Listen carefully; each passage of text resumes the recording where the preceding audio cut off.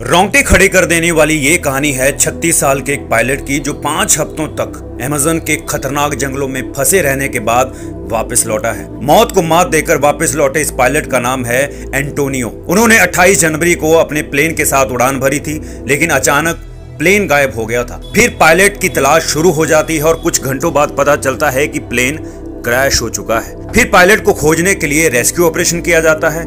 Plane crash होने के बाद पायलट अमेजन के घने जंगलों में फंस चुका था।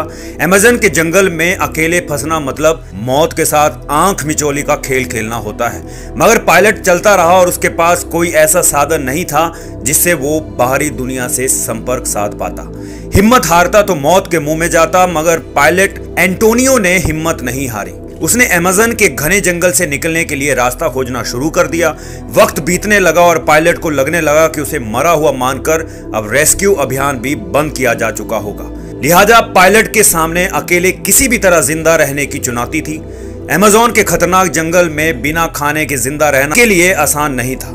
हालाँकि उन्होंने हार नहीं मानी और किसी तरह गुजर बसर करते रहे। पाँच हफ्तों तक उन्होंने चिड़िया के अंडे और जंगली फल खाए ताकि वो ज़िंदा रहे और अपने घर वापस लौट सके। दूसरी तरफ़, रेस्क्यू टीम एंटोनियो को खोज रही थी। करीब 36 दिनों बाद लापता एंटोनियो को खोज ही लिया गया। इस तरह जीने की इच्छा शक्ति और रेस्क्यू टीम की मदद से एंटोनियो अपने घर कुशल पूर्वक लौटे। डॉक्टर्स ने भी अपनी जाँच में उन्हें एकदम स्वस्थ पाया है। हम उनकी हिम्मत को सलाम करते हैं।